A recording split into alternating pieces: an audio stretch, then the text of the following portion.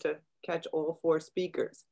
So today, um, first, thanks for joining this panel and this conference is incredibly important. In this panel, you'll hear from four speakers, each talking about gang prosecutions by allegedly progressive prosecutors in East Coast jurisdictions. Baltimore, Philadelphia, Brooklyn, and then Southern District of New York, a Bronx prosecution. So we'll be working our way up the East Coast.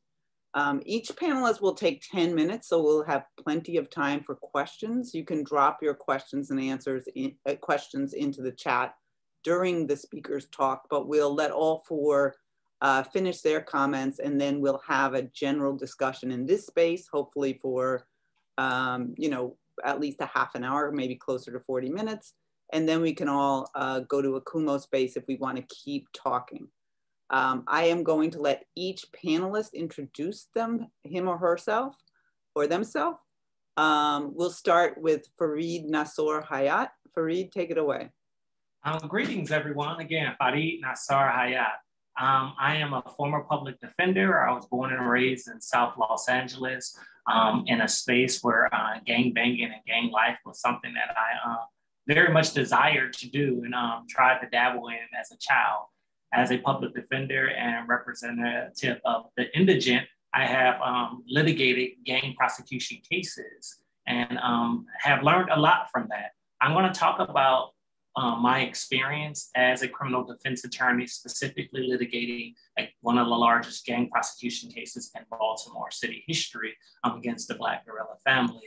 And um, specifically, Baltimore City is an interesting place because the prosecutor is Marilyn Mosby, who, for all intents and purposes, qualifies as what we label as a progressive prosecutor. Um, I, I, often tell people she makes it hard for me to continue to dislike all prosecutors sometimes because she keeps finding finding a way to like really surprise me um, with doing things that are truly progressive. As it relates to gang prosecution, she is lagging behind. And I'm going to highlight some specific ways in which the prosecution of um, those accused as gang members uh, occur in Baltimore City and some of the specific legal problems, constitutional challenges that can be brought to those type of prosecutions. Um, I'm going to share PowerPoint. I'm very wordy, so you don't have to read every word. It really is like more of a, a guide for myself, but you know, um, some sometimes there's some helpful information on there as well. So um, you can keep your eye on it, but it's certainly not necessary for you to follow word for word with it. So I guess I should have started at the beginning.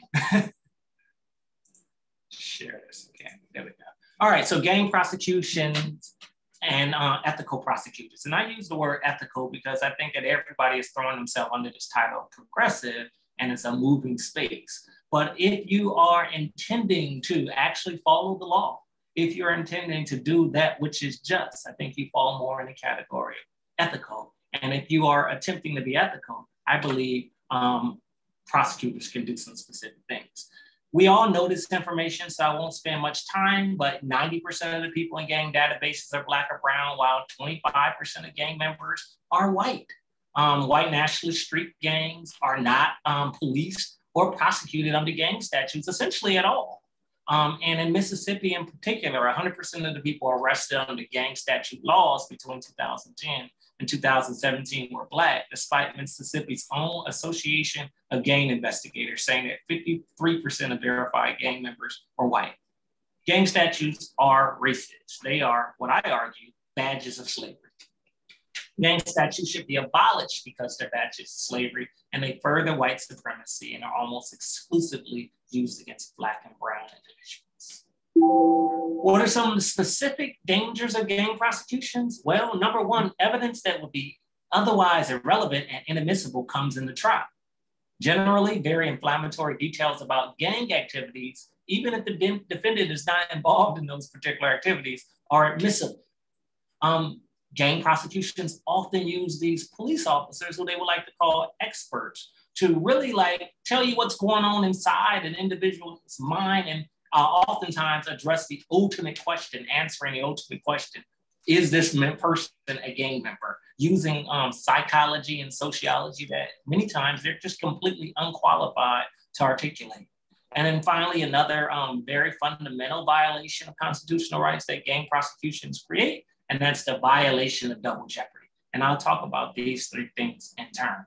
And I'm talking about these three things in particular because it comes from my trial experience. These are the things that um, made the evidence in this gang case insurmountable. I couldn't put forth a credible defense because of these um, pathways to guilty findings that prosecutors have through gang statutes. What can ethical prosecutors do? Number one, don't bring gang charges. And uh, Chesa Boudin started off by saying, hey, you know, I'm not bringing any of these enhancements. And as we know, California largely focuses on the enhancements, but they're jurisdictions that both have substantive gang charges and enhancements charges. The state of Maryland actually has a substantive gang charge where you can be convicted for a crime in furtherance of the gang. So don't bring those charges. Bring substantive crimes if they're legitimate. Where gang charges are brought, what can prosecutors do? Number one, they can bifurcate from trial from the substantive crime and, uh, um, and not bring that enhancement or substantive charge with the gang charge. What does that mean? Well, we'll talk about it a little bit, but that means that keep the gang charge information separate from proving if my client committed a robbery or if my client committed a murder. First, prove that before you get into the details of what this gang may do across the city. Another thing is do not introduce expert witnesses that offer sociological and psychological evidence that uh, based on flawed methodology and avoid defendants' double jeopardy um, violations. Do not charge a person with a gang statute where there's only one predicate act. And I say that because, again, if you're charged with a, a, a substantive gang charge of distribution of cocaine, and you're charged with that distribution of cocaine. You're found not guilty of distribution of cocaine, but guilty of distribution of cocaine while a gang member. Impossible. It's the same offense. If you didn't do it as an individual, you couldn't have done it as a gang member. So don't bring those kind of charges. And gang statutes allow prosecutors to bring those. And then finally, merge these gang charges with the conspiracy charges. And we have case law that supports this concept that these gang uh, statute violations are the same offense as um, conspiracies. Ethical prosecutors should consent to bifurcation. I'll highlight an example. Gang statutes allow the prosecutor to tell a jury about crimes unrelated to the actual defendant. An example, um, in my case, a client was accused of murder. The prosecutor declined to originally bring that murder charge, um, but once the gang statute was passed, that prosecutor brought that exact same gang charge, even though it was insufficient evidence. And not only did they bring the charge under the gang statute, they were able to get a conviction.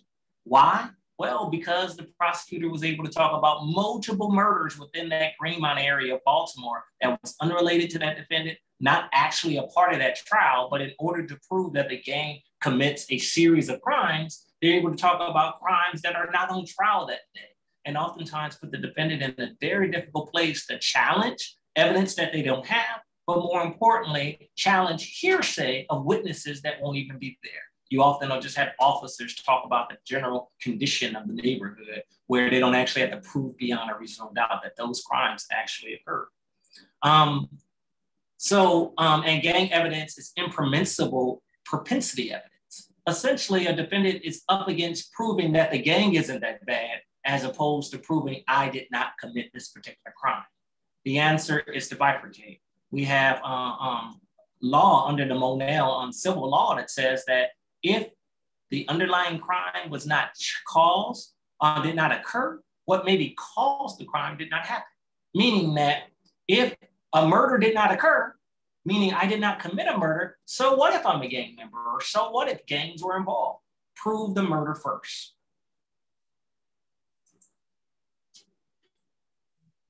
So bifurcation prevents overwhelming juries. Um, if there's nothing illegal be, about being a gang, then gang membership shouldn't be considered a crime. Bifurcation helps ensure any conviction is based on beyond a reasonable doubt of the actual crime. And ethical prosecutors will decline to use evidence that doesn't go to the substantive crime, that is only about bad character evidence. ethical prosecutors should not bring gang expert testimony in trials. Gang experts require normally somewhere between, they have about 10 different um, signs or indications of gang memberships. And most of them say anywhere between two or three of these indicators will qualify a person as a gang. The problem is that once you put these kind of um, tests under a microscope, they fall apart. In my particular case, the gang expert testified that if you had two of the 10 predictors, then you would be a gang member. He said that throwing up signs and associations with gang members qualify one as a gang uh, member. Well, I asked him, if your cousins are gang members and you hang out with them, yes, and you throw up this sign in particular, would that qualify? He says, no. I said, well, isn't this a gang sign? He says, yes, that's what the BGF put up. So two of the qualities, hanging out with gang members and using the BGF sign did not add up to gang membership. But this concept that that expert gets to decide these kind of things and equally important about what, what does it really mean to hang out with family members or to hang out with community members or to use particular signs and the fact that that evidence becomes so prejudicial and not credible.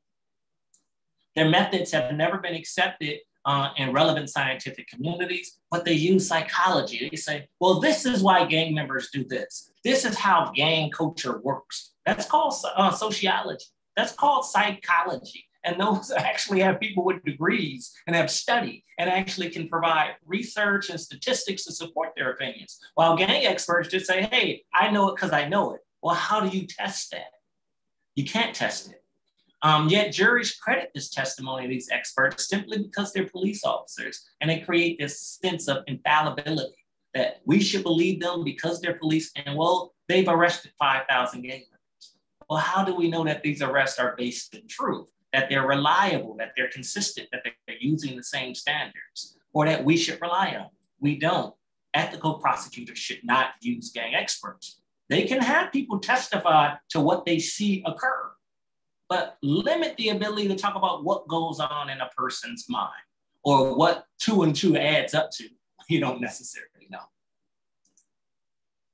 Um, and why is this such a big deal? There's um, a former prosecutor, Alan Jackson, in his article, Prosecuting the Gang Case What Local Prosecutors Need to Know. He wrote the easiest way to get gang evidence admitted in the trial is by filing a substantive gang charge or enhancement.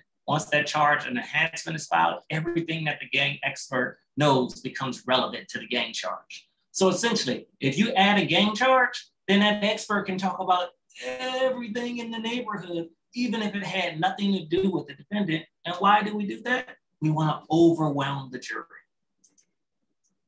Finally, um, one, um, a third way in which gang prosecutions violate constitutional rights and the ways in which ethical prosecutors can elect not to bring is these double jeopardy violations. We know that classic double jeopardy or successive prosecution is when one is already tried for uh, an act and jeopardy attached. Or collateral estoppel is when you relitigate an issue that's already been decided by a jury. And then simultaneous double jeopardy, we talked about that a little bit. If you're charged with drug dealing and then charged with drug dealing on behalf of the gang, meaning you're going to be punished for that same instance of drug dealing on two occasions that happen on the exact same time. Let's talk about collateral estoppel in particular. I won't go through the other two, but as it relates to collateral estoppel, the uh, seminal case is Ash v. Swenson, and Ash held that once an issue of ultimate fact has been determined by a ballot and final judgment, that issue cannot be relitigated. Oh, guess what gang statutes allow? Um, client found um, charged with distribution of drugs has a jury trial found not guilty of distribution of drugs. One year later, he's charged under the gang statute for that exact incident of distribution of drugs and then found guilty. That's a violation of double jeopardy and specifically the uh, uh, legal doctrine of uh, Ash v. Swenson. If he did not distribute drugs on that first occasion, he could not have distributed drugs on behalf of um, the Black Guerrilla family. It's a violation of double jeopardy. Ethical prosecutors will not intentionally violate the Constitution. So, like Lad, uh, like Ash, if he did not distribute cocaine, he could not have distributed it in furtherance of the gang ethical prosecutors should reject Fifth Amendment violations. So my conclusion, ethical prosecutors respond, uh, have a responsibility to uphold the Constitution. Ethical prosecutors should reject prosecutions entirely. They're badges of slavery, born of racialized myths of violence and function to overpunish Black and Brown men of alleged crimes. Ethical prosecutors should continue, uh, who continue to bring gang charges, should bifurcate them from the substantive charge, not call gang experts, and refrain from bringing previously adjudicated conduct. Thank you.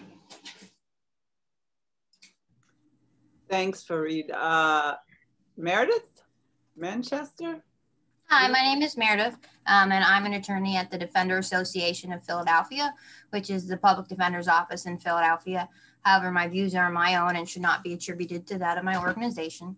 Um, as many of you probably know, in Philadelphia, our district attorney is Larry Krasner, and he's one of the most well known um, individuals who have run on this platform of progressive prosecution, promising that um, incarceration should be will be used as a last resort, that it will only be used to um, be used with the most violent offenders. And that sounds reasonable, right? It might even sound progressive until you look at who he is allowing his office to identify as the most violent offenders.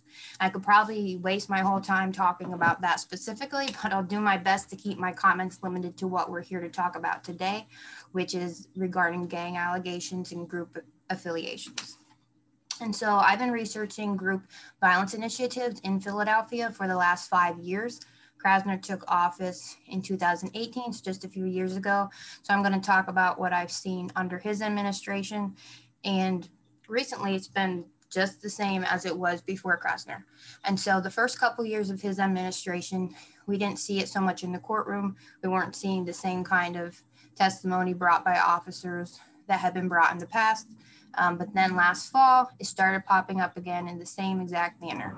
And so what would happen? There are basically three um, three steps that that wind up with the same result of the cop of a cop coming in testify at bail revocation motions, at preliminary arraignments, at sentencings, and the like. The district attorney using their arguments and their you know facts in argument, um, and also using them in plea negotiations. So the first step is identify, right? How do we identify the individuals who we're going to target as affiliated with group violence? And important to note is that they use the word group, right? They don't use the word gang, they don't use a statutory definition. And this is to avoid any kind of criteria, any kind of definition that they have to meet how do you prove someone's in a gang? How do you prove that they're not in, or sorry, in a group? How would you ever prove that they're not in a group, right? It's a very loosey goosey word. But using that word, they're still able to evoke the kind of fear um, that the word gang would evoke in a courtroom. And so they basically get the, both, the best of both worlds. Um, and so, in order to identify an individual as part of a group, they have basically boiled down to they've criminalized friendship if they identify a young adult black male that is friends with other young adult black males in a particular geographic location within a couple blocks, those individuals are automatically labeled as in a group, and those affiliations will often come into court. And so I wanted to, uh, sorry. And so the second, um, the second pro- part of this process would be the harassment aspect, right? Once these cops have identified the people that they're saying are in a group, you can only imagine the kind of harassment that they're doing to get these individuals into court. And once they get into court, unfortunately, because we all know that trials don't happen right away, right? They have a long amount of time that the court has supervision over these individuals before they would ever have to prove any kind of case at trial. And so it's not at the trial level that these affiliations are coming in. As I mentioned before, it's a lot of pretrial supervision um, hearings, like bail hearings, and then later on at sentencing um, and a lot of times the charges that they're actually charged with have nothing to do with any kind of gang affiliation. And then big issue that comes from that is if you listen to Fareed and talk about if you listen to Fareed talk about the lack of evidence they would have even at trial, the inability they're able, the inability they have to meet rules of evidence at trial. Imagine in a bail hearing where the rules of evidence are so much more lax, if even existing at all.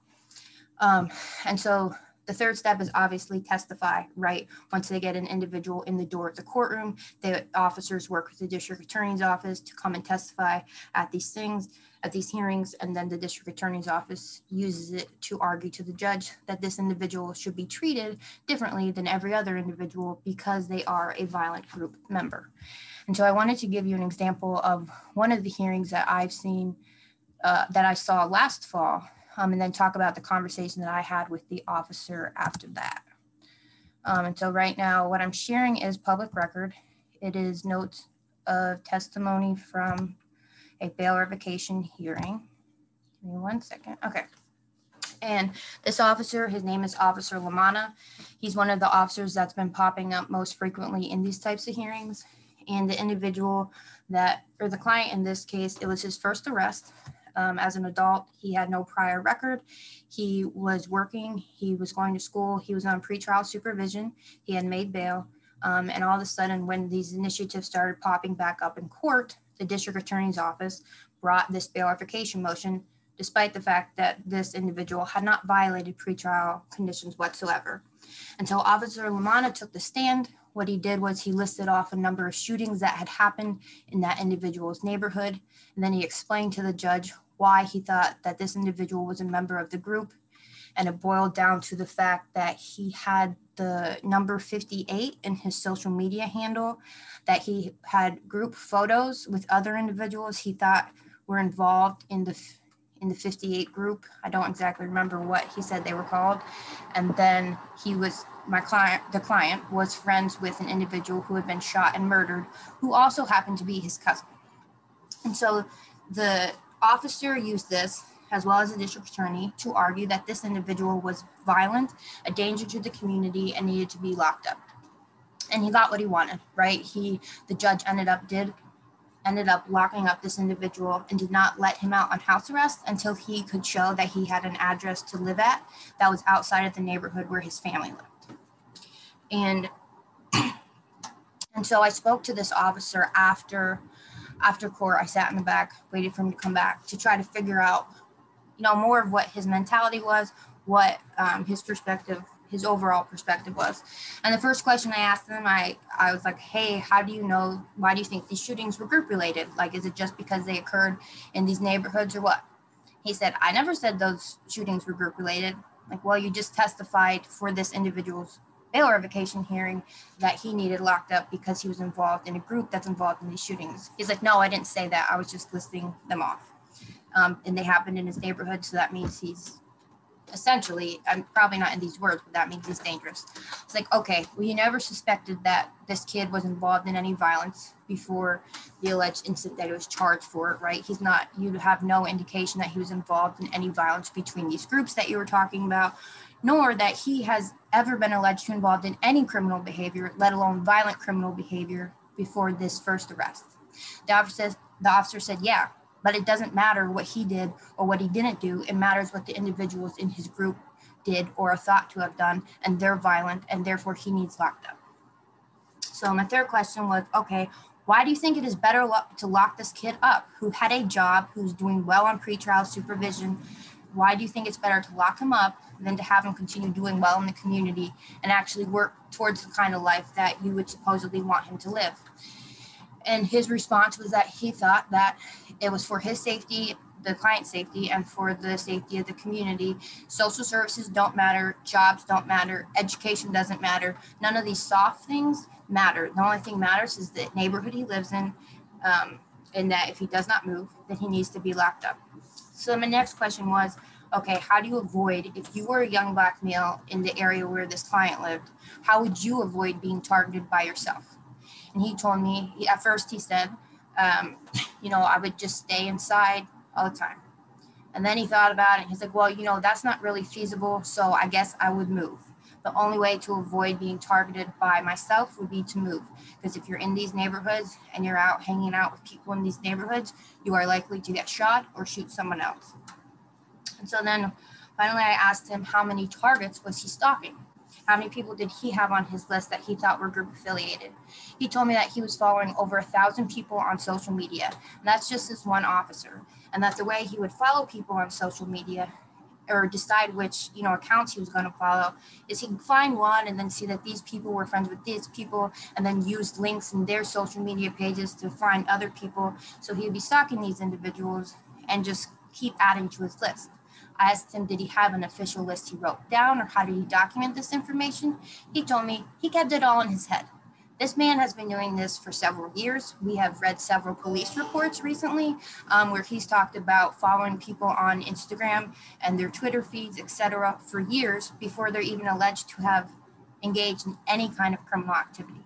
And so the main takeaway that I would hope you guys leave with is in Philadelphia, you do not need to be alleged to be involved in anything criminal in order to make it on this on the police department's list of people they should target for being involved in group violence.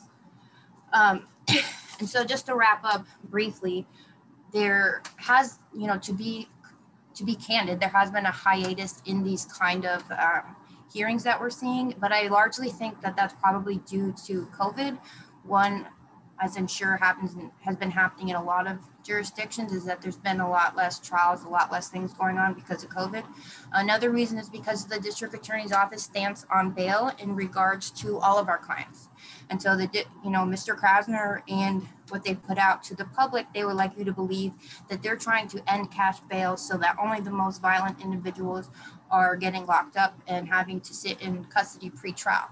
However, the bail fund um, recently did a study and found that he's locked, he is requesting a million dollars bail on 53% of our clients. And these are not, and I can tell you from my own experience also, these are not for individuals who are, who have necessarily have violent records, who necessarily have violent charges, pretty much run of the mill. If you, that they, I'm sorry, that unless there are really good mitigating circumstances that are present at the very time that you are arrested, they request a million dollars bail. And they're also having officers testify at preliminary arraignments where there is no record kept, so we don't know what exactly these officers are saying. But I know from the notes of prior of the public defenders who are representing at those hearings that they're also bringing these allegations at preliminary arraignments in order to secure higher bail. Um, and so for those reasons, I would guess at least contribute to the fact we've been seeing these hearings less recently. Um, but you know, time will tell. But I would imagine that it's just going to pick up where it left off in the fall, and that we'll keep seeing them and keep seeing you know friendship criminalized in Philadelphia. Thank you, Meredith. Nice job. MK, can you? Hi, everyone. Yeah, I'm, I'm MK Kaishian. I'm Senior Policy Counsel with Brooklyn Defender Services. Um, our organization represents about 35,000 people charged with crimes and also in the uh, civil realm and family separation, immigration. Um, we provide those indigent services to many, many people every year in Brooklyn. Um, well, I am a public defender, but for the last year, my work has primarily been both city level policy work um, and work around policing, police misconduct, and gang prosecutions. Um, and obviously, there's a huge intersection there between who the police feel that they can mistreat the most and groups that are othered in some way, in this case with the gang label. Um, the issues that we're tackling here in New York City have been uncovered largely through the work of advocates and activists, um, not through lawyers, uh, you know, people who are impacted by gang policing and prosecutions, um, and then also people who have done the work of filing freedom of information requests because obviously neither prosecutors nor police are willing to have a high amount of transparency as, on these issues. Um, and those include members of the Gangs Coalition, which I'm proud to be a part of alongside Professor Howell and other speakers at this conference. As a public defender, we also get special insight into the ways that prosecutors build so-called gang cases against people, primarily Black and Brown people, and the way that these cases are built over the course of many years through surveillance and harassment by police. There are two critical and inseparable prongs to these cases, and those are police and prosecutors. So while we might be able to elect a so-called progressive prosecutor, the police departments that they're building their work on are all the same. Um, and they, they work together at every stage to criminalize association and to subvert the due process rights of accused people by othering them with gang labels. So I'll talk NYPD practices first. Um, obviously, they're inextricable the way that the NYPD operates is probably familiar to people in other major metropolitan areas, notably LA and Chicago and Baltimore um, and Philadelphia. The NYPD maintains a secretive internal list called the Criminal Group Database, also known as the Gang Database, in which the department labels almost exclusively young Black and Latinx New Yorkers as gang members. Over 99% of the people in the database are non white. Um, there is no, and that's according to the NYPD, so um, maybe even higher. There is no independent oversight of who is placed in this database. Individuals do not need to be convicted of any crime to be placed in it, not that that's a reliable metric anyway. And there's no way to challenge these gang designations. Criteria for designation include living in a known gang area and association with gang members, including family members. Um, the NYPD claims that people are not on this database for their lifetime, but there's no mechanism for ensuring that that's true. And there's frankly no reason to believe that they're telling the truth. And of course, as is often true in any moral panic, there's no clear definition of what it means to be a gang. And we end up with fear driven policies that allow police and prosecutors to circumvent due process for gang labeled people. Between 2003 and 2013, roughly a third of the people added to the database were children. Some of them were as young as 12 years old. And the NYPD continually expands the ways that someone can be added to their catalog. The database is also riddled with errors. So I personally represented people who are incorrectly identified as gang members. Perhaps a, a, parent, their father, a brother, a sibling, a cousin is a gang member or is affiliated somehow, but this person is not. Um, but they're also misidentified. It's not just that they're including people who shouldn't be included, but they're mislabeling them um, as belonging to a certain group, which can actually be dangerous.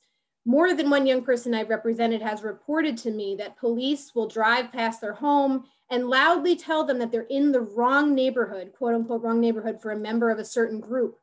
And not only are the police wrong about this person's affiliation, but they're calling attention to this person and placing them at risk, which is something that they enjoy doing.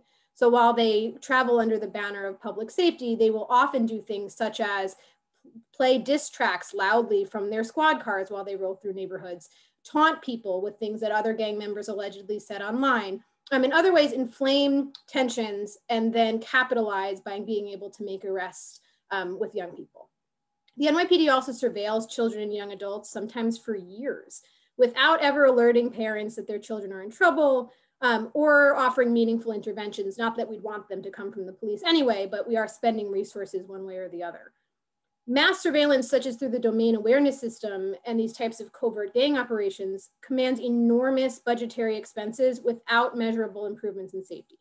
Um, so this system, the domain awareness system, also known as DAS, and its functions and implications could be the topic of an entire conference.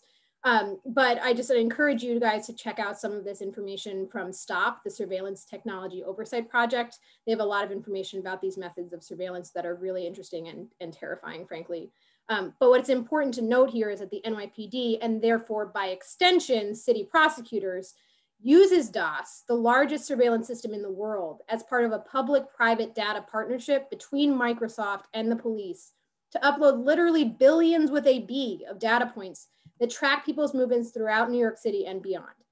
And the only reason that we know so much about DAS is because the NYPD applied for a grant and had to brag about their program publicly. Um, but prior to that, it was completely shrouded in secrecy, including by prosecutors during the discovery process. Um, police and prosecutors also scrape data from social media, listen to music, especially drill music, to prosecute people based on their lyrics, create fake accounts to glean information from people, um, and build social network maps using information that's available online and through DAS. We also know that the NYPD, and again, therefore city prosecutors, have access to technology that download all information from cell phones, including data stored remotely on apps without leaving a trace. Companies such as Cellebrite provide this technology to law enforcement. And because in New York City, we have administrative coded reporting requirements, we also know that the NYPD in 2020 alone, and this was a slow year, seized more than 55,000 cell phones and kept nearly half of them. So we know that they have the phones and they have the technology to access them without leaving a trace. We also know that prosecutors conspire with the NYPD to get phones that the NYPD has seized in unrelated or dismissed cases, and they then keep them to investigate matters if a person is of interest to them as a workaround to the warrant requirement. And we are especially seeing this so that they can build social network maps to build gang prosecutions. Now, this level of surveillance and power that the NYPD has is not unique, but it's also something out of a dystopian nightmare, frankly. Um, and it's only made possible by the partnership and the legal authority granted to them by the prosecutors that they effectively work for. Um, and I see a question that I actually will, will answer now. Are these phones seized and searched pursuant to a warrant? No. They are seized because every time a person is arrested, their phone gets vouchered. The NYPD is then able to keep it, and then they access it without a warrant to our knowledge. They sometimes do not use this information in court, right? They, they're, therefore, there's no oversight. They're using it to build the gang database, to build their social network maps, to build the information that the NYPD and prosecutors have about a person. But because they don't need to introduce it as evidence in court, there's no real mechanism by which we're making sure that they're getting this information legally. Um, and there's obviously major collaboration, overlap, information sharing between NYPD and prosecutors. Um, and this is where a discussion of prosecutorial practice is warranted. So certainly in New York City, as elsewhere, there are discussions about whether there even is such a thing as a progressive prosecutor. Um, and I know in the activist and public defense communities, there's significant disagreement over whether an abolitionist can even run for the office, given what the nature of the job is. Um, I think that's also warrants its own discussion, but what I will say here is that progressive is a term that's necessarily relative. So a, a prosecutor might be progressive compared to their peers, but I don't know that this is a particularly useful or meaningful term because it can belie very typical prosecutorial behavior. So what I know working in Brooklyn is that I may get a better plea deal on certain charges than if I were to say like cross the bridge and go to Staten Island. But every district attorney in the five boroughs relies on the NYPD, facilitates their efforts at gang surveillance, and has a very tough time maintaining stated decarceral policies once someone is a labeled gang member by these racist and invasive practices and once a gun is involved. Um, and I will say, based on our anecdotal evidence, um, as, as, as these cases are prosecuted, that almost no gun is coming through arraignments or getting prosecuted without the gang label being involved. Um, because pretty much every young person that we represent here in Brooklyn is labeled as a gang, by, gang member by the NYPD. Um, now, New York State does not have gang enhancement sentencing rules, but these gang labels are raised at every opportunity to weaken what few due process protections exist in the criminal punishment system at all. Um, for example, reporters are tipped off by police and prosecutors to gang raids before defense counsel is notified. A person's alleged gang status is used when arguing, arguing about bail, even though New York has what's considered to be robust bail statutes that information will still slip its way into a bail application because they're letting a judge know that if this person is released and is then implicated in future crimes, that judge will be on the cover of the New York Post. And so bail gets set in higher amounts. Um, discovery laws are circumvented. Prosecutors withhold critical information such as witness names, again, relying simply on an accused alleged affiliation as a reason to handicap the defense. Um, and even prosecutorial efforts at so-called alternatives to incarceration involve major input from the NYPD to the point that the department is able to veto individuals from eligibility for certain programs as alternatives to prison time based on what the police determine to be their likelihood to commit crimes in the future. Like the NYPD is doing precog work in order to ensure that young, young people are going upstate to prison rather than being granted alternatives to incarceration in prosecutor run programs. Um, victims of shooting are made ineligible from these prosecutor run programs because police and prosecutors say that victims are more likely to become shooters. New York City also funds our version of Operation Ceasefire, which is purported to provide resources to at risk youth, but is actually run by federal and state prosecutors, the ATF, and the NYPD. Um, and those tactics that this Operation Ceasefire uses includes sending threatening letters to people identified as gang members, threatening to get the NYPD involved in their sentencing, um, and unannounced home visits by police to people who are gang, deemed gang affiliated, which brings unwanted attention to them, is obviously embarrassing, um, but can also create additional risks. Um, and there are also workarounds to the lack of gang enhancements here in New York. So police identified gang members are targeted for harassment and abuse by the police. They're then charged with inchoate or planning crimes and crime by association and brought down in gang conspiracy charges, um, rather than the commission of specific acts, which is something that both other speakers have talked about today. Um, and then they're warehoused for complex prosecutions.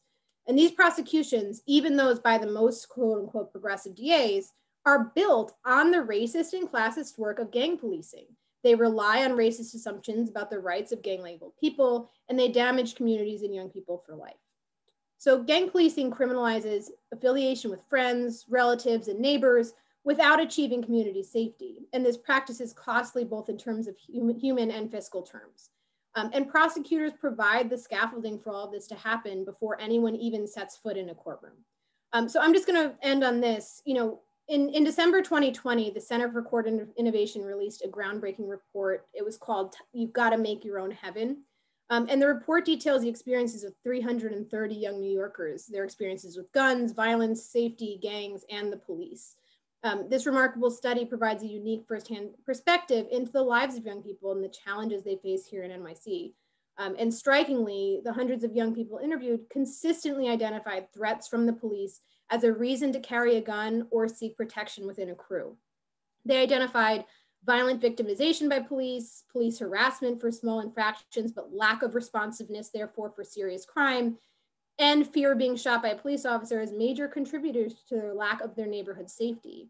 Um, they also described an overall sense that the police were a negative force in their communities and they sensed a lack of care for people in the community. They also drew a direct connection between the way they were treated as less than human and their race. Um, and these young people helped craft recommendations and they included things like bringing services to youth, hiring more credible messengers, but also engage, engaging crew leadership as potentially pro-social movements within a community. Um, so I just kind of want to leave with us on the idea that we really need to listen to young people, the same people that are being labeled and scapegoated by the police and prosecutors, because we really can't rely on progressive prosecutors to save the day. Thank you, MK.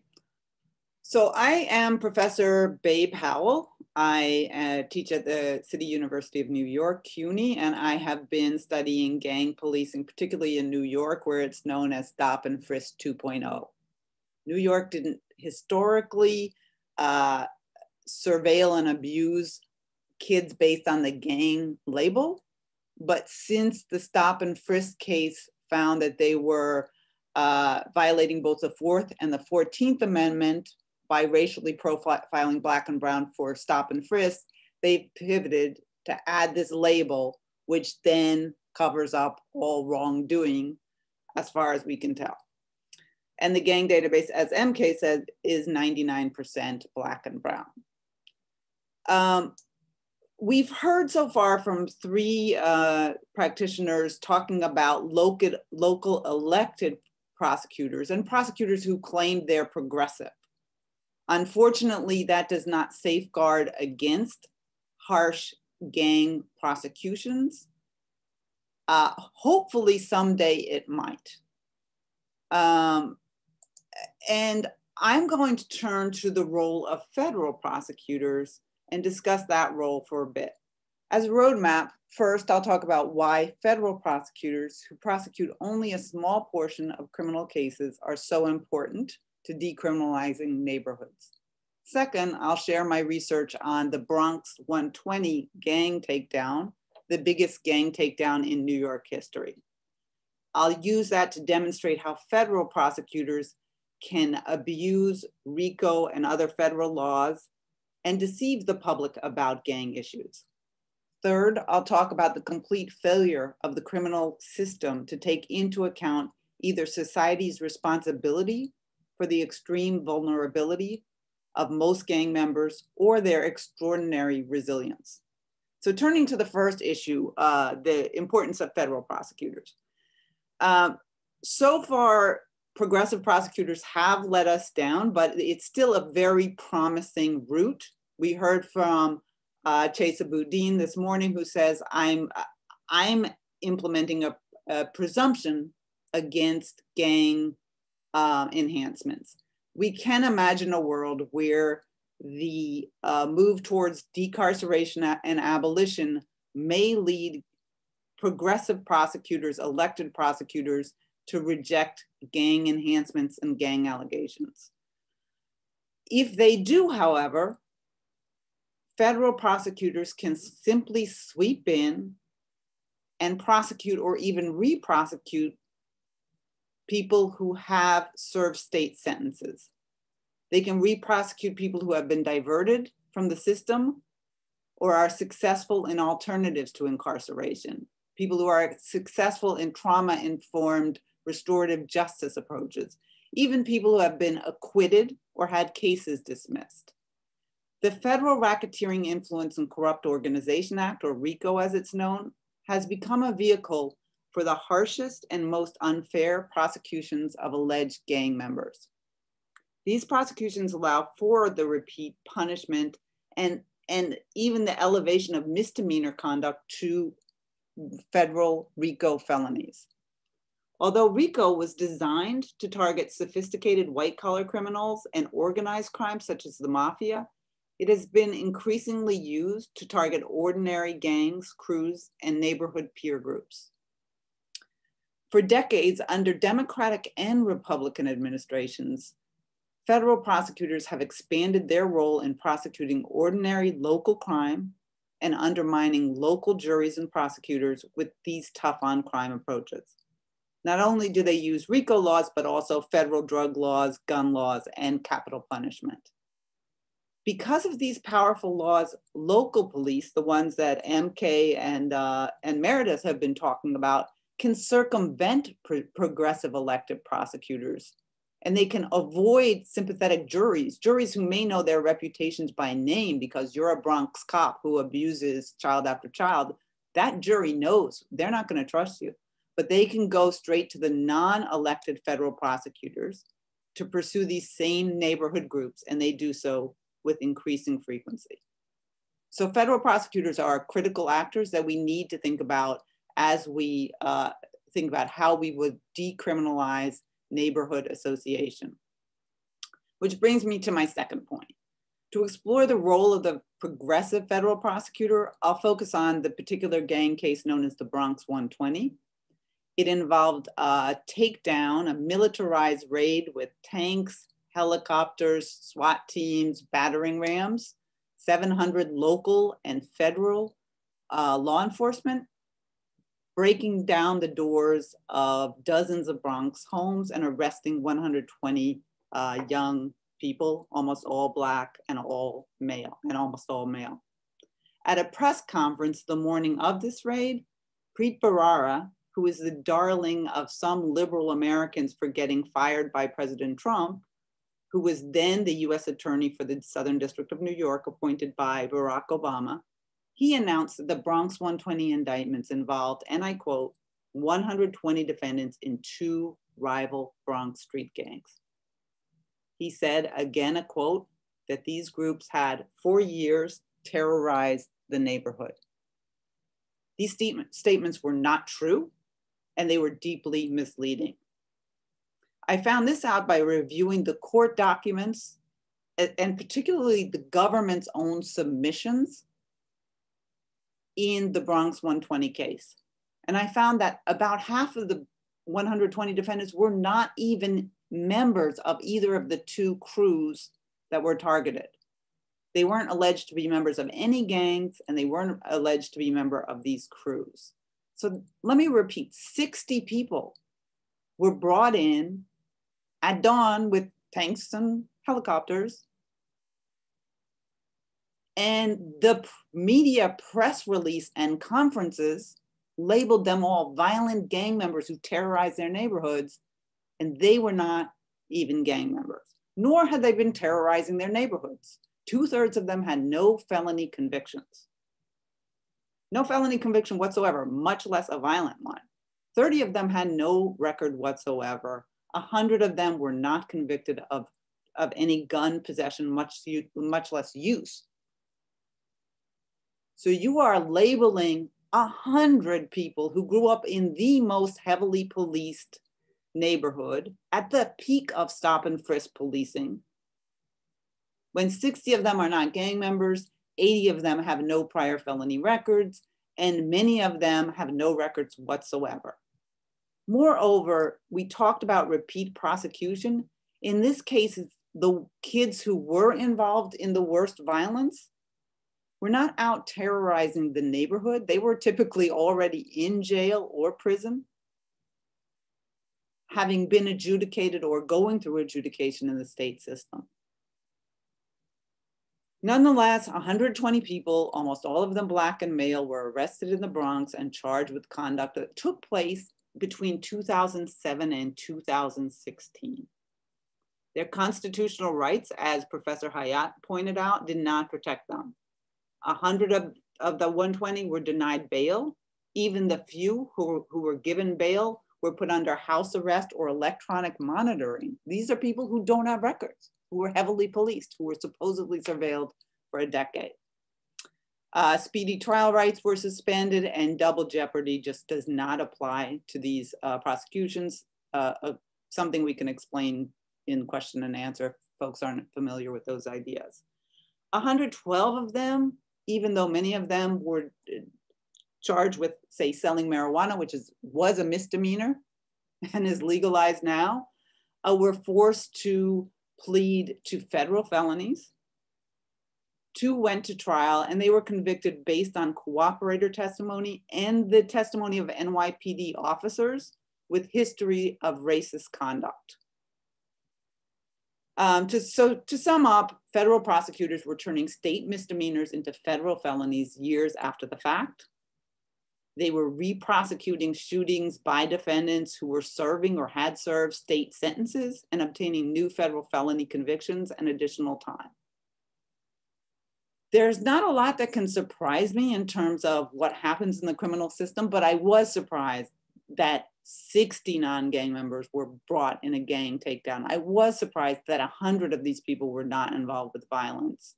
Um, I shouldn't have been, but the progressive federal prosecutor with his huge media uh, reach is reaching out and telling people that folks are gang members, that they are violent and they are terrorizing their neighborhoods and that really perpetuates uh, ra racist um, biases and, and stereotypes in our society, and it is entirely unwarranted. More importantly, too, the criminal system is for criminals.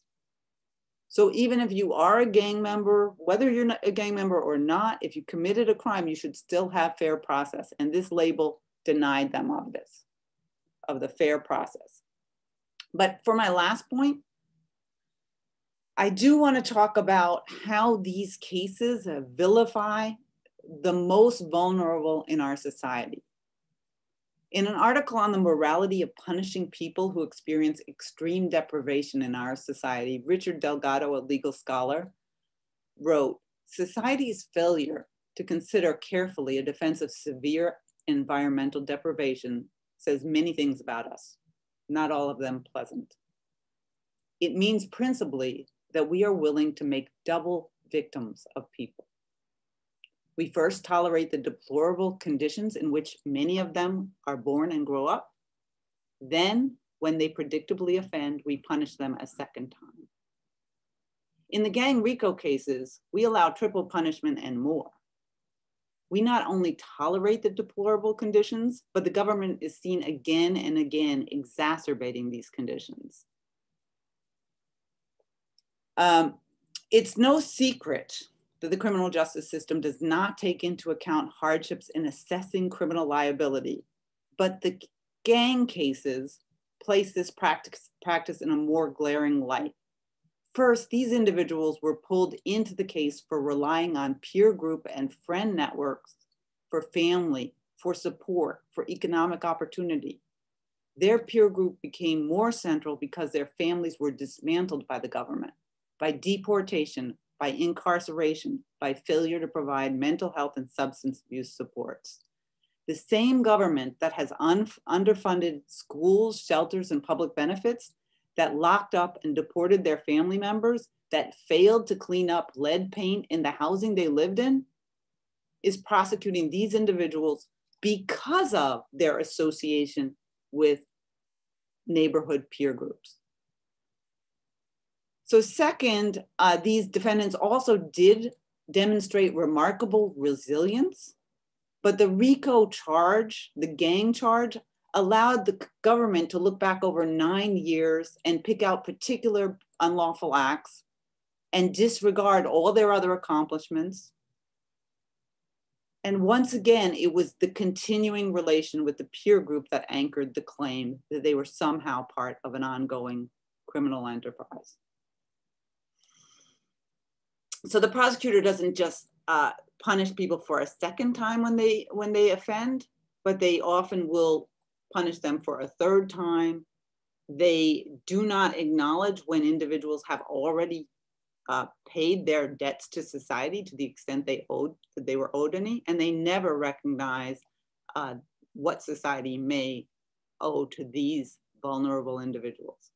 So on that note, um, I'd like to open things up for question and answer. And I'm sorry, I think I did go over time because I forgot to hit go.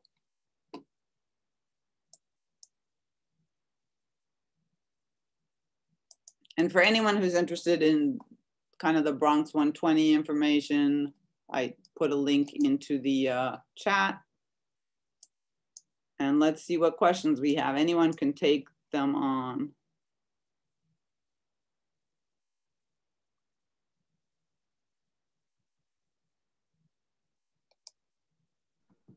So there's one question here that I, I think may have been in uh, response to what I was saying about the gatekeeping by police and prosecutors to alternatives to incarceration. Um, so for people who do receive a GPS or, or phone, or I'm sorry, GPS monitoring, um, ankle monitors while they're out pending trial, um, yes, we, we have every reason to believe that that information is added to the criminal group database. Um, you know, this is a state surveillance mechanism that's placed on their person um, and then it's uploaded into a state database. And there's no reason that we should believe that that's not used to bolster the criminal group database or the gang database. Um, we believe that any information that's available to the state is being used to build those networks, to create cases against people. Um, there was, you know, there are efforts uh, to encourage people to file freedom of information requests about their own information to the database, but unfortunately the NYPD often denies them um, citing ongoing investigations. So we have limited insight into exactly what is in, contained in the database, but certainly we believe that any access that the state is given to a person's whereabouts um, are being used to build their files that the NYPD keeps on them. I also want to make a follow-up comment that uh, oftentimes in um, these gang cases, especially advocates are always talking about the innocent or those who are accused of being gang members, as opposed to those who are actually gang members, those who are actually committing crimes. And especially in my writing, um, I really believe that it's important to assert that these constitutional rights and this concept of fairness should apply to those people as well.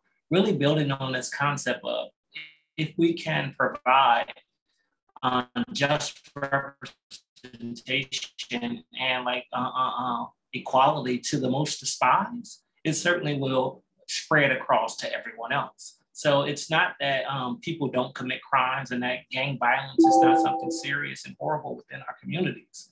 But these are largely very poor people with very few resources. And if police, number one, did their job correctly, or number two, if our resources were shifted to get on the front end instead of prosecuting, um, I'm doing some research right now where we find that in Los Angeles County, they're spending around $118,000 per year for each gang member to prosecute and put into jail.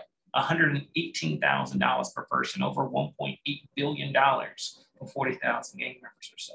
And this concept that we would spend so much money to punish as opposed to simply spending some of that money with this concept of redistributing uh, uh, uh, or uh, or um, defunding police or moving toward this kind of abolitionist agenda to say let's put this money in a way that we can avoid the problem so we don't have these more serious complications. And then the last note I would say this concept of the despised people we are easily able to extend if we're going to limit gang members' rights, then we're going to turn and say we're going to limit immigrants' rights. We're going to uh, limit Muslim rights. We're going to we're going to continue to choose who's not entitled to the protections of our Constitution.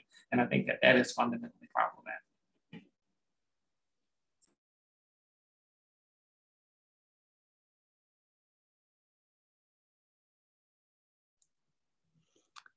I'm seeing a question about RICO and it being uh, designed to target uh, sophisticated organizations and therefore federal prosecutors should get more funding to, to deal with it. Um, I think thinking about RICO is important and to the extent we can have a, a progressive decarceral agenda or one at least that says, hey, neighborhood groups of kids this was not the point of RICO. We could imagine relatively um, uh, reasonable kind of jurisdictional requirements added to RICO. So at a minimum, you need to show an impact of, you know, $1 million in this, uh, on the uh, interstate or, or on the interstate um, commerce within a year or six months. You know, one thing they managed to do is they say, well, this 100 people over the course of a decade would have brought in X number of kilos. So they managed to to pile up like, you know, selling nickel and dime bags adds up to something jurisdictional, but you could make a, a limit that would kind of push RICO back into the original uh, con confines that were imagined. There's been case law that says the effect on interstate commerce only needs to be de minimis. And that is what opened the floodgates to RICO charges against gang members. Going to Fareed's point about gang members um, versus non-gang members, I can't agree more. It, it's very, it's almost annoying to me that 60 of these people were not in the crew because I really want to focus on anyone alleged to be in a crew or a gang should have a fair trial. And that fair trial, as Fareed says, shouldn't even include that they are a gang member. You know, that's evidence 101, propensity evidence. You can't bring in that all my friends are, are, are not so cool. And one of the other issues about gang members that many of you probably know is there are kind of core gang members and there are more marginal hangers on and mostly people join gangs for protection not in order to join a conspiracy to go hurt people. So it's really a world where um, we shouldn't be using these allegations because they are so powerful and so powerfully prejudicial that it means you just cannot have a fair trial. I want to also respond to this concept of RICO being designed for some highly sophisticated organizations. And um, I know that's kind of like the legislative history, and you know, um, this is what they say. But when you really like uh, um, dig into these, uh, I'm writing a paper right now where I'm digging into the legislative history and the people who created the California STEP Act, which was the first gang statute in this country. And what I'm finding is that these people were actually engaged in racist ideology and practice for quite a long time and that the gang statute that they say, hey, we're going after these sophisticated gangs that are causing all these problems are really tied to quintessential badges of slavery or black codes. You have um, someone like Kenneth Hahn, or uh, James Hahn, who was the city attorney at the time, or Ira Reiner, who was the county attorney at the time, who say outright, these people are not entitled to constitutional rights. You have uh, um, Daryl Gates, who uses all kind of racist uh, uh, language and outright statements about um, um, the fact that individuals from these communities are undeserving of these rights. Um, you have uh, uh, um, uh, Robbins, who was the state legislator who led a campaign against busing in California and has all this very racist ideology, who then shifts to gang, uh, gang prosecutions. And like we get on board with him, even though he's already shown that he's anti-black, he was anti-busing and his ideology to support that was very much not progressive. So I, I think that um, what we do know is the people who are prosecuted under these statutes are poor. They, um, all of us are public defenders. We're the people representing gang members. It's very rare that gang members are showing up with that high-powered lawyer. Well, I would like to consider myself a high-powered lawyer, nonetheless, of being a public servant. But you know, no one's paying me $100,000 for their representation. And that's in the case that I did, where it was over 40 defendants, not one person had a private attorney, though they're alleging they're moving millions of dollars of drugs. Well, where is all this money so they can hire their representation? So uh, I would push back on the need for more resources to be used. I think just getting back down to basic police work instead of uh, uh, uh um, trying to get a conviction without actually simply sitting outside and doing some investigation, um, we don't need more resources. We need more diligence. And kind of building on all these discussions, I mean, several of these prosecutors, I, I don't think uh, Preet Bharara ever claimed to be progressive, progressive or decarceral. Um, but many of them really do claim to be decarceral, but then they just accept the narratives from the police. I think oftentimes because they feel like they don't have the expertise, that the police know the neighborhoods, that they are trying to protect these communities. Uh, but it is incredibly pernicious. And it's something that if we are looking for progressive prosecutors, if we're looking for reform, we really need people who understand this piece too and say we will not criminalize neighborhood peer associations. We will look for alternatives that don't involve the police. Driving down your block, as MK says, announcing where you're from, which is what New York alternatives are, you know, um, that address these issues outside the criminal justice system. And I will never, ever add one minute of time or even allow my prosecutors to bring those allegations into court. And I won't let the police come do it either, as Meredith was pointing out you know, they come in and are and testify in these ways that are just, yeah, bringing racism straight into the classroom. In these gang cases that, uh, in the two trial cases that went to trial in the um, Bronx 120, one of the officers who testified, his Twitter handle was Obama hater 55. Um, and in the other, the uh, the cop had cost, you know, upwards of a quarter million dollars in uh, in police misconduct, um, violate 1983 civil rights violations.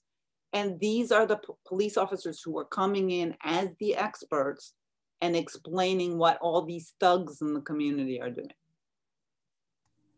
Uh, seven minutes from now, we'll move to the Kumospace. I'm gonna shut up and let other people talk. I kind of wanted to um, piggyback off of what you were saying, Babe, regarding how we need progressive prosecutors in this particular area to look for alternatives um, for services for these individuals that are outside the police department.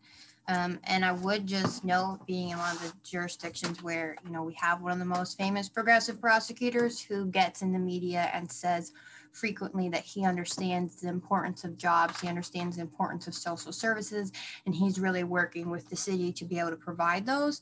Um, that that's not enough, right? We have to look at if they're actually backing up what they're saying. So in I think Philadelphia is a good example. One of the issues before Krasner came was that our district attorney was making all these claims about social services that long story short, did not pan out. And the social services director actually ended up quitting because he would get written up if he tried to support these individuals in court who were taking advantage of social services. Um, in regards to Krasner, I listened to one of his talks the other day where he testified to city council about how they were putting community liaisons in every police district and how those community liaisons were going to connect these individuals who were who they had identified as um, you know more likely than other individuals to be targets of shootings or to shoot so that therefore they could connect them to services and offer them a way out of this lifestyle. So I went to the police, the first police district where these community liaisons were supposed to be. I asked to speak to the community liaison. They looked at me like I had three heads. They had no idea what I was talking about. So the next day I called because maybe I thought, you know, maybe he just wasn't working that day or I talked to the wrong people, whatever. Eventually somebody was able to lead me to this community liaison who was a police officer. And that police officer, I talked to him and asked him, you know, what community organizations do you partner with? He's like, I don't partner with any community organizations. I work in the 18th district and that's it. It's like, okay, so walk me through what do you do as community liaison? He said he walks up, he gets a list from the city of individuals who are supposed to be targeted for these programs, goes to those individuals' houses, knocks on the door, and says, Hey, do you want to participate in social services? If you do, there are social services for you. Here's number you can call. And then he leaves. So then I asked him, Okay, well, what social services are available? I don't know. Well, do you know if any social services are available? No, I don't. Like, okay, so Krasner had testified about this to city council that this was their program, and this is how it panned out. Like, er, and this is what I found out. And so, in addition, like his lip service is great. And if you listen to him talk, and I'm sure other progressive prosecutors talk, it might sound great, like they're on board with everything that we're saying. But if you don't ask the people on the ground who actually know what's being implemented, who know where the resources are going, then we really don't know anything, right? They could be telling the truth, but they could not. And so I just wanted to, just wanted to say, like, in, in response to that, there are programs that work. You know, in Los Angeles, there's a Homeboy Bakery and the Homeboy Bakery focuses on formerly incarcerated, specifically former uh, um, people who are gang members. And what they show is they're going from a 70% recidivism rate across the board, where um, um, normal defendants who get released are getting locked back up at 70%, and they can bring it down to like 19%. But the Homeboy Bakery don't have enough resources to bring in everyone who's being released. So instead of paying that officer this extra salary to be the community liaison. We actually have organizations out there that have the resources that are not about carceral alternative um, incarceration and would do the work and have a track record of being successful. If we're concerned about safety and concerned about gang violence, let's address it with resources. And I raised my hand just because I did see some some of my students on this call and i just love the way that meredith like ask cops questions. So many times people think like they're not going to talk to me. A lot of times they will you know walk up to them after a hearing and ask them a bunch of questions. Um, you will learn a lot and um, it could really help with advocacy. Same with complaining witnesses. Anyone else like you want to know what's happening? Don't be shy Sorry, that's a that's a teacher aside, but I couldn't help it. And going on to the point of uh, Fareed's point, though, there's quite there are quite a few sessions here about uh, alternatives, and it is really, really, really important to focus on this because there are huge commitments to kind of moving, you know, claiming some, something's an alternative, putting it into ceasefire, putting police officers and prosecutors in charge of the exit lanes. And those exit lanes are really kind of like the ones that go off and come back in like a, a mile up the road. It's, it's highly um, eh, pathologized, rest stops. impossible. Yeah, like a rest stop. Exactly. Like we're going to give you a, a detour for a quarter mile. Okay, I think there's, I'm the volunteer for the next session, but I will leave in a few minutes to start the next session. Okay. I just wanted just to add to that, we've been calling a couple of the programs that are offered in Brooklyn, they're deferred incarceration programs um, you know, because they will let people in, but they, they, make it impossible to succeed, to graduate. You know, their, their terms are things like you must no longer associate with any known gang members. And that, you know, who the known gang member is, it was of course up to the NYPD. But what if it's your dad and that's where you live? Um, you know, and if that doesn't change overnight, then they're failed out and they're sent upstate. And so we do refer to them as deferred incarceration because that's really what it is. You take the plea up front, you get into this ATI, and then you inevitably fail um, so it's just not working. And I think that's largely because police and prosecutors still control the process. And the release terms too of the, the a lot of the Bronx 120, because they hadn't really done anything, got time served, but often after months in jail. But the release was like, plus you can't associate with anyone in your crew. It's like, these are the people I grew up with who live on my block, in my building, on my floor for my whole life. Um, I see a question in the, um, in the chat that's asking specifically about collateral estoppel, double jeopardy, and those kind of arguments. Um, um, Brenda, you want to ask that question and maybe we could try to answer it for you? I think we have to move into the other space, so maybe answer there. Okay. I don't know if we have to move or not. Like, You're welcome. Oh, sorry. Sorry, I'm the volunteer. Uh, you're welcome to stay here. I just need to transfer the host duty to one of you all, so oh. if that's preferred. Or um, we invite everyone to move to the Kumospace as well. Why don't we just stay here, right? Or do we want to go to Kumospace? Maybe we can at least try to address Brandon's question first. Let's we'll address Brandon's question and then we'll go to Kumospace. Jacqueline, why don't you make Fareed the boss now? Sounds good. Thanks, y'all.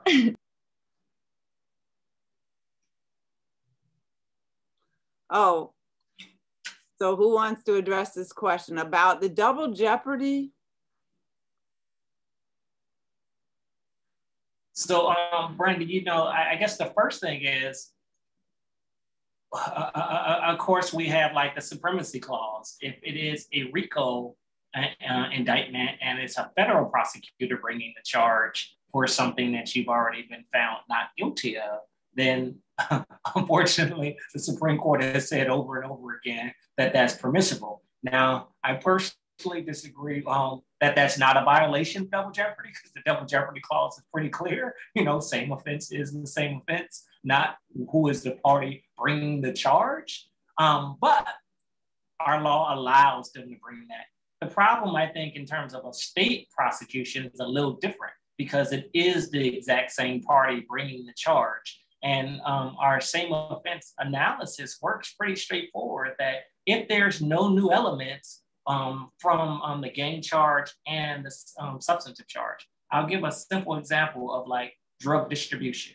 If you're charged with drug distribution on behalf of the gang, you number one have to fulfill all the elements of the gang prosecution. Two or three members who made an agreement to commit a crime and uh, uh, in furtherance of the gang, and it has to have an enumerated crime. Well, if that crime is drug distribution, so then you have to fulfill all the elements of drug distribution, meaning actual drug distributing to another person. All right. So those are the elements of the gang prosecution for drug distribution. Well, what are the elements for drug distribution? The actual drugs and giving it to another person. There is no different element on the drug side. So as a result, that drug charge falls under a complete, it's completely incorporated into the gang charge. So that's why it's a violation of double jeopardy within the uh, uh, simultaneous prosecution. Um, babe. Yeah, but that almost never happens.